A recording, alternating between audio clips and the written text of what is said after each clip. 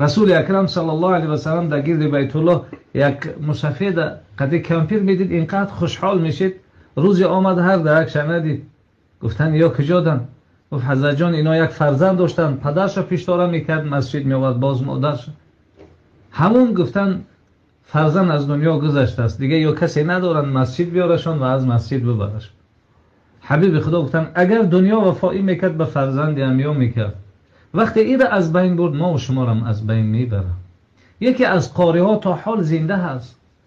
گفت ما بسیار ثروتمند بودم شرایط خوب داشتم پدرم بیمار بود خانم ده بود. زاره می‌کرد که بچه مرا خانه خودم ببر. میگم ماشین ده تاب می‌دادم گیر گیر ده همین قشلاق و ریان ها تاوش می‌دادم با دوباره خانه خودم میآوردمش. پدرم که کمی عقلش شگوم کرده بود می‌گفت بچم هر کس خانه خودش. خانه مرا دیگه از خانه خودش فرق نمی‌کرد لیکن فقط خواهش می‌کرد که مرا خانه خودم با. گفت فقیر شدم دیگه پدرم می‌گفت بچم مرا خانه خودم با. گفت در یک عربه سوارش می‌کردم و گرگیز دیگه کوچه ها تاوش می‌دادم باز دوباره خانه خودم میورد می‌گفت بچم هر کس خانه خودش و روزی میگه پدرم دست برداشت گفت فرزندم خدایا از جمله او فرزندای شوی که روز تو پیش پیش شوی شاههای دنیا از دنبال تو بروند پشت پشت تو بروند خنده کردم که من این فقیر کجا و شاه دنبال من رفتم. و روز میگه قبر همین محمد اسماعیل البخاری را در سمرقند میگه زیارت آمدن. همه اسلام کریموف میگه از بین قاریا مرا گفت تو پیش پیش وقتی میگه ما پیش پیش اسلام کریموف عقب دیگه شاه آوای دیدم ریخت. میگه رئیس جمهور گفت چرا ناراحت شدی؟ گفت من در دعای پدر خنده کرده بودم این روز برای اجابتش گفت گریه دارم. ما گفتم کجا عقل قطی قبول نشه که ما کی هستم که ما پیش پیش برم شاه از عقیب من بیارم عبدالله ابن عمر رضی الله تعالی عنه ما روایت می‌کنه. میگه در بیت الله یا بچه را دیدم دستا شله کار نمی‌کنه. سوالش کردم بچه هم خیریت است؟ گفت حضرت جان جوان بدم پدرم نصیحت کرد پدر زدم بعد اون مادرم نصیحت کرد مادرم هم زدم. با پدر حج آمده پدر تواف می‌کرد گردی بیت الله و یک دعای عجیب می‌کرد. خدایا ما پیر و ناتوان شدم. ما دیگه طاقت ضرب ولاتی فرزندم ندارم. همو قوای را در دستش دادی مرا می‌زنه. خدا جان همو قوا را در دستش بگی دیگه مرا نزنه. با مجرد دعای پدر گفت هر دستم ای کار برآمد. خانه آمد زارش کردم. پدر جان یک باره که دیگه حج بریم. در راه آمدیم. پدرم از بالای شطور افتاد. از دنیا گذشت. حضرت ما تا حال به همین احوال است.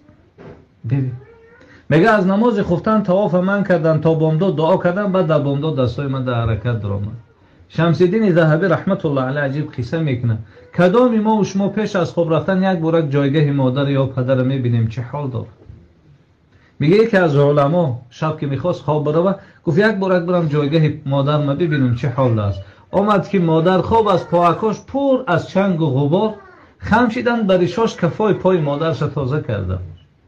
و سحر آمدن خواستن درس بگن.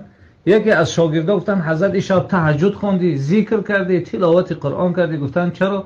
حضرت جون گفتن خواب دیدیم که ریشاد پر از دور و مروارید است. از بریلیانت و سنگ های قیمت بها. گفت او خاک کفی پای مادرم رسول اکرم صلی الله علیه و سلم روز یک صحابه را دید که در ریشاش ملائکه ها بحث دارم گفت بچم این روز چه عملی خوبی را انجام دادی؟ گفت حضرت جان از کار آمدم. پاک های مادر دیدم پر از چنگ و غبارن خم شدم بر ایشان کفای پاش تازه کردم و آبای دیده حبیب خدا ریختم.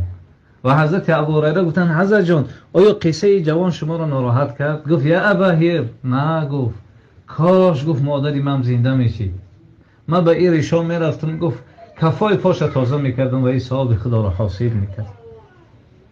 حضرت عمر رضی الله تعالی عنه ривоят мекунанд. Мега рӯзи ҳабиби худоро шасту ду сола буд. Яъне як сол пеш аз вафотуш дар як сарзамин дидам ки ҳабиби худо инқадр нола кард ки ман ягон бор ҳабиби худоро нолаша надида будам.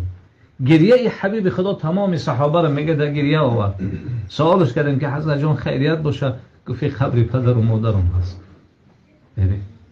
расули акрам саллаллоҳу алайҳи васалам чӣ қадр мо шуморо тавсия доданд ва дуои аҷибам мехонем. Аллоҳумма фирли вали валидая худо аввал худмона бубахш баъд аз он падару модар чаро аввал худ монад чаро аввал падар не чаро аввал модар не худоё маро бубахш чаро то дуои дар ҳаққи падару модар мекунам қабул шавад агар мара набахшӣ дуом қабул намешавад ба ин хотир аввал худма худо бубахш баъд аз он падару модарма бубахш